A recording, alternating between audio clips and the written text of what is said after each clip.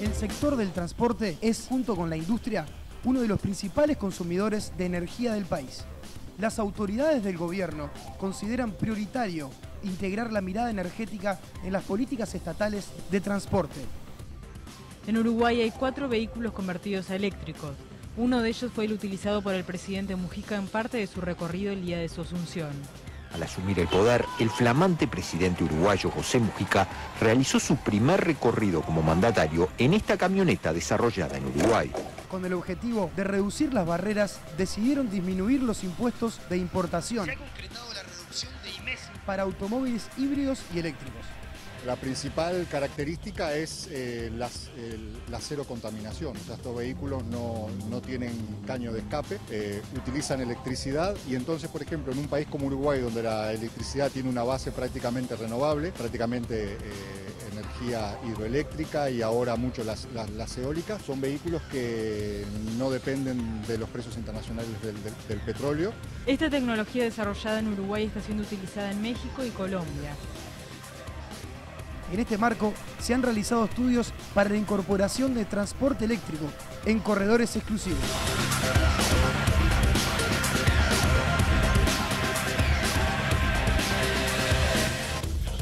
Doctor Méndez, este tipo de informes me lleva a pensar que los últimos serán los primeros, ¿o no?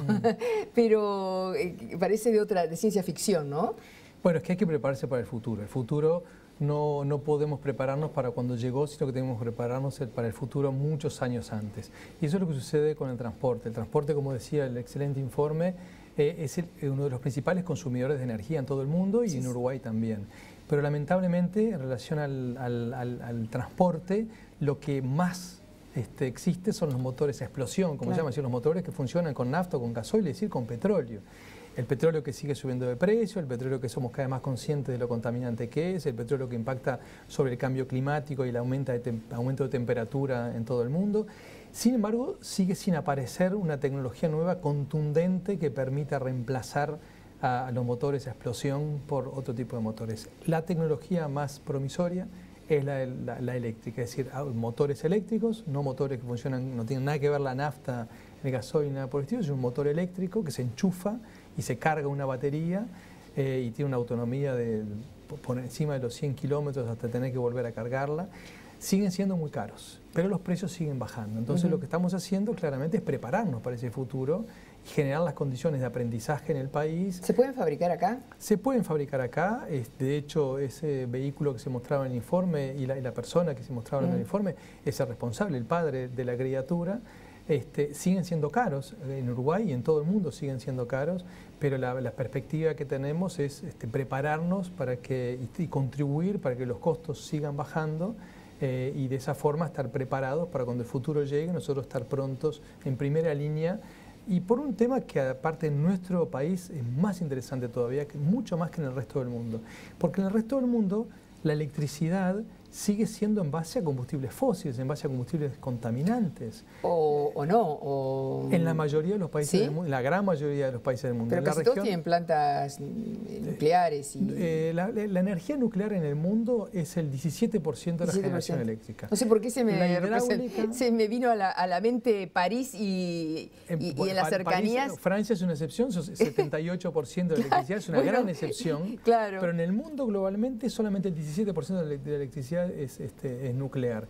Y las renovables todas juntas no son más del 20% de la generación eléctrica. O sea, quiere decir que hay un 60 y pico, 70, que es en base a petróleo, gas natural y carbón. Y eso sí es un problema para, para, el futuro del mundo. En Uruguay, en cambio, cuando termine de incorporarse la energía eólica, lo que tenemos de biomasa, el comienzo ahora de las plantas fotovoltaicas, más del 90% de la electricidad va a ser en base a energías renovables. Y quien dice renovables dice autóctonas, es decir, el 90% de la electricidad depende de nosotros mismos, depende de nuestros recursos naturales. Por lo tanto, si también en el transporte logramos sacarnos de encima el petróleo y metemos también allí electricidad, entonces podemos tener certeza de que para la década del 20, la década del 30, cuando esto explote literalmente, digamos, este, por, los, por los nuevos precios, vamos a tener un transporte eh, casi renovable y autóctono. Y eso realmente es fenomenal. No se ha inventado nada para la industria.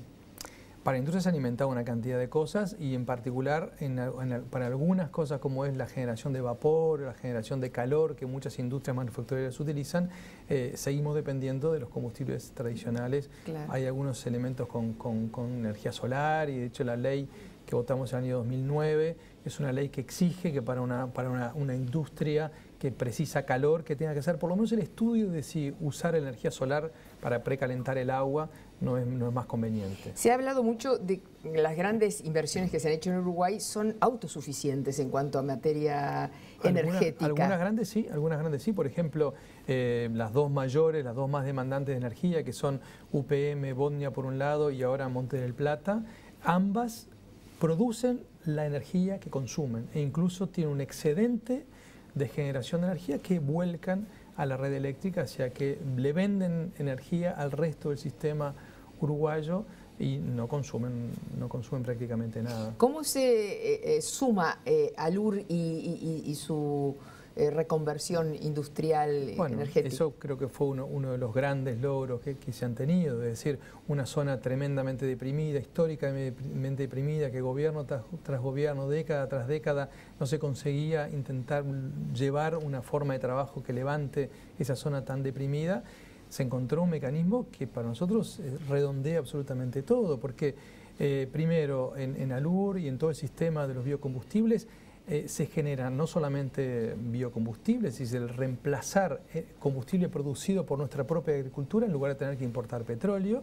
Como sorgo, como cáscara de arroz. Es, sorgo dulce, este, no cáscara de arroz para los biocombustibles, no, este, eh, licor negro que se el, llama. el, licor negro también se, se, usa para, para, generar esta electricidad y calor en este en, en, Botnia y ahora próximamente también en, este, en Monte del Plata. No, son cultivos nacionales, oleaginosos algunos, otros con, con contenidos de alcoholes, que generan miles de puestos de trabajo, eh, generan electricidad, generan calor, generan biocombustibles, generan ración animal. Uruguay, eh, Uruguay es un importador de 130.000 toneladas anuales de ración animal. Va a partir de ahora a empezar a exportar ración animal porque, por lo que es un subproducto de la producción de biocombustibles. Es decir, es una mirada global que encima con de generación de miles de puestos de trabajo se, se, evitan importaciones de petróleo por cerca de 100 millones de dólares al año. Es un negocio que cierra desde todo punto de vista, mucho más allá de que cierran los números, cierran desde el punto de vista de la generación de trabajo, generación de conocimientos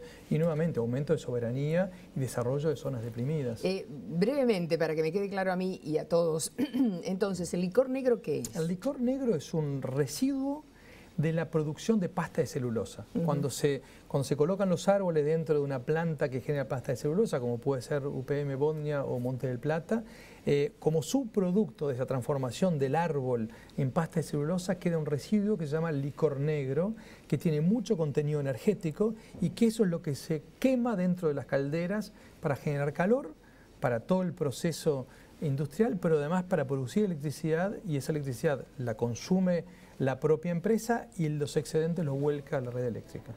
Bien, hacemos la última pausa. Claro que sí.